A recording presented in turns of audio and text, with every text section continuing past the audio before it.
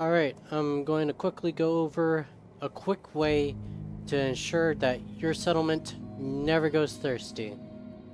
It is fast, reliable, and it only takes you like 4 minutes if you're quick. You don't have to bring anything with you, you can go in with nothing. All you need to do is just run the route I'm running.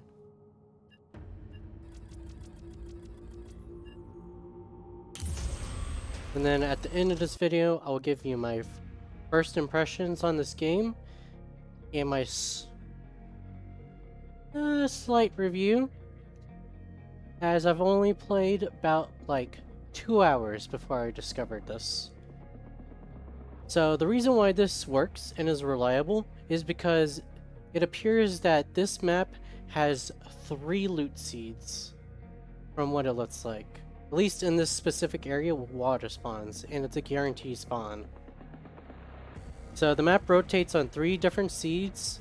Enemies may or may not uh, rotate on a different spawn pattern, but they are consistently in the area.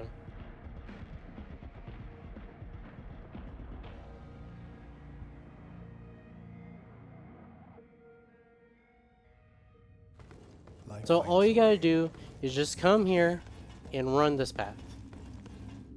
And you will get water enough to satisfy all of your needs that you'll be doing and not have to worry about your base ever start uh, going thirsty if you care about that. This will oh my god has lag got even worse. No it's fine. It's just the lag dimension right now because of fog.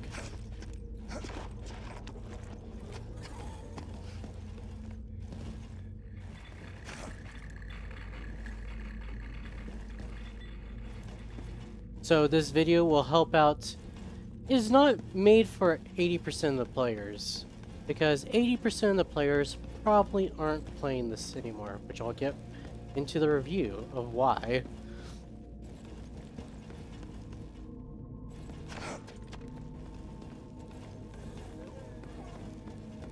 But you literally just have to run up that, climb on the terrain, be just beeline it in this direction. Oh, fuck these fucking stutter bastards. Don't get noticed by any of the ghouls.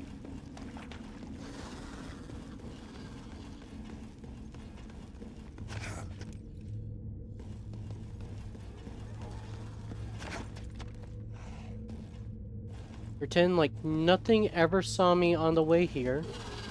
Ah shit, I got sawn. Ignore it. Problems will go away. I promise. Unless these dudes see me. Unless those dudes see me. Are they in here? Because there's always patrol here. And the water is literally over in this corner. Yoink the water. Oh, sweet. They didn't come after me. Just quickly grab some loot. Fill your little bag. Fill the bag, the bag, the bag.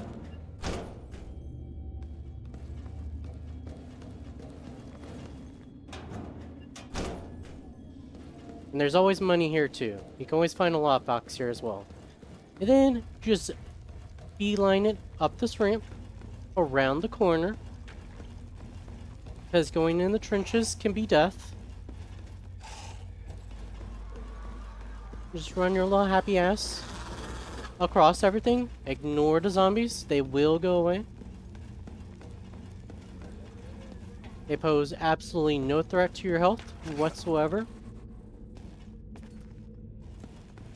Hey, bam! You are done. Safety. That's all you need to do. Stand the smell. Just run this over and over, and you'll get it done in like less than four minutes. That's all you need to know. If that's all you're here for, thank you. Enjoy the rest of your day. And may water never run out in your base.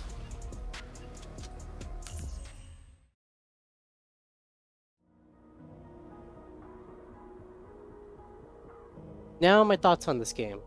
Um, I don't want to hate on it just to hate on it, but this game has a good atmosphere. Good art direction, good concept.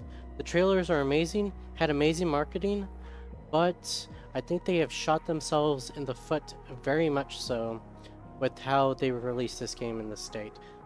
I understand it's early access. I understand things approve. I mean, look at No Man's Sky. They made amazing combat. Well, what they do, they fucking tumbled, uh, tumbled their little ass out that door and died on release. And not many games have the liberty of making that comeback. Um, this game has poor optimization.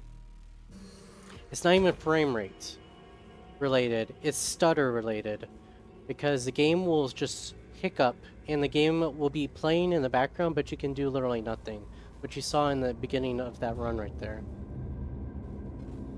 I've played four matches before I found that route, which I have been running for about the 40 minutes in my off time, just so I can stock up on water. Because with game crashes, okay, let's first off, optimization needs to be happen. It's going to keep most people away. Let's say you don't have a large audience with this game. It's an extraction shooter that's hard. It's meant to be hard. They even advertise that you're not the guy. You are just a scavenger. I understand that. I can respect that. You are locking away a giant proportion of your audience potential audience at that because casual gamers do not play these kind of games. Um, look at the Frontier Cycle. That fucking game died. It was they went to free to try to save it and still died. There were so many issues in that game, but it was PvP. This is a PvE game.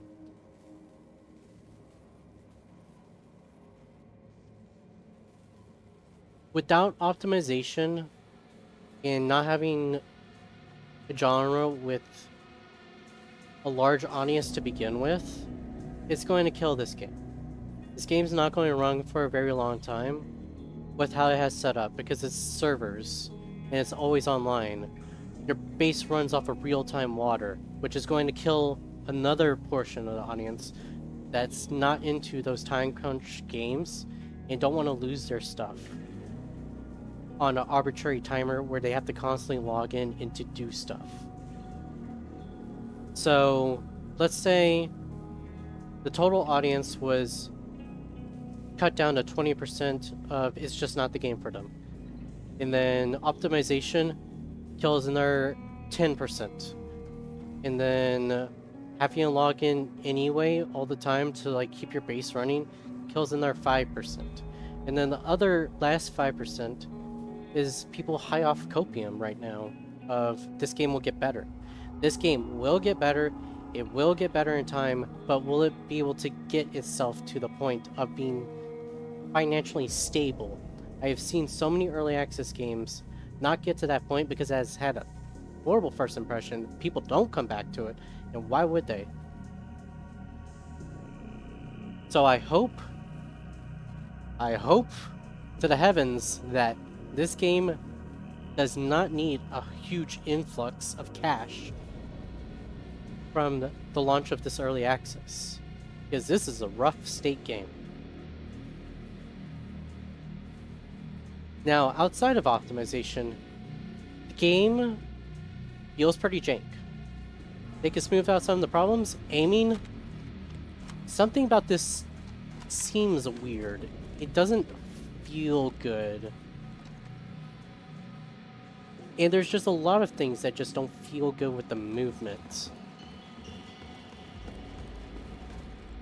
It's just hard to explain. It's missing something. It's missing something from the feel-good status. And what do you have outside of that? You also have the water system that's going to also turn people away. Um, it shouldn't even be in the game it, it it has it serves it needs to be completely reworked. This is a huge turnoff for casual people. Me being included, I'm not a casual gamer. I play fucking too many games. But as just like a casual, this is going to turn off people off. And if it's so easy to get water like this, why even tie it to a real-time day counter? It has no purpose being in this game right now. They need to rework this, or at least make it to like something related to the in the game timer. Like number of extractions brings this down instead of real world timers. So they can so you get people that stray away from the game, they've saved up their loot, they keep their loot stash and they feel like they're in a good position, can take over 2 months away from this game and then come back, have all that stuff and play the new stuff. And they feel it's in a good state and they recommend it to their friends.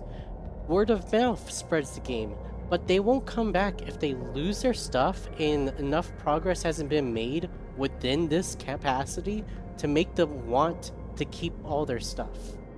It's good. Just there's so many little design decisions right now, and the way they release the game in the state with the bugs and the crashes, and like the ways of just losing your stuff with this, it's not, it's cutting the potential audience in half.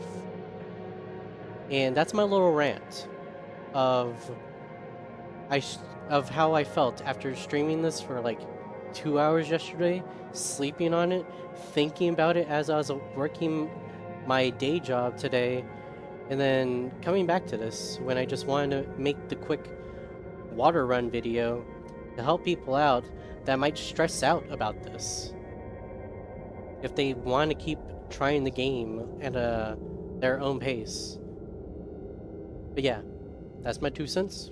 Thank you for listening if you're here, and have a good rest of your day. Peace.